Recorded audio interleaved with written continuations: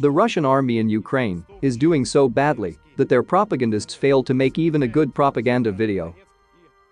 This also happened in this situation in which the Russian artillery received little Ukrainian karma.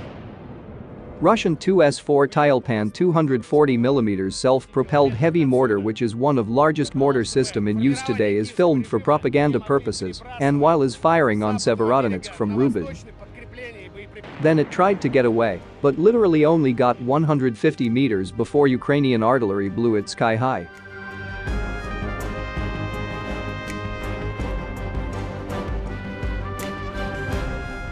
And another big failure for Russia in its invasion of Ukraine. The Ukrainian army shared a video on Wednesday showing the destruction of a valuable Russian radio jammer hidden among farm buildings in Kharkiv. The video showed an aerial view of rural buildings, annotated to point out Russian equipment hidden there. What appeared to be an antenna could be viewed sticking out.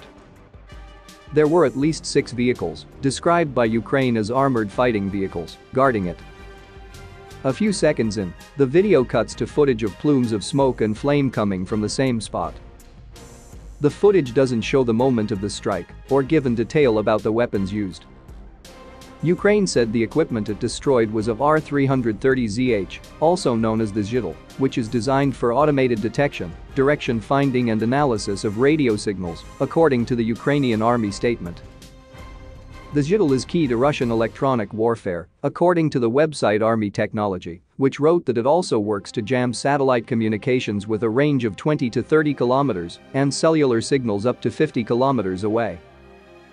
The attack was a joint operation between Ukrainian ground and air forces, the Army's post said.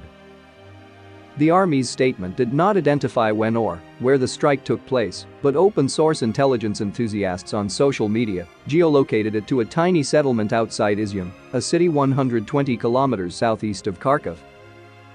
Ukraine said on May 14 that Russian troops were withdrawing from the Kharkiv region. The Institute for the Study of War, a Washington, D.C. based think tank, agreed in a May 13 report that Ukraine appears to have won the Battle of Kharkiv. It said that Russian ground troops were still attempting to hold on to various areas, including Izium.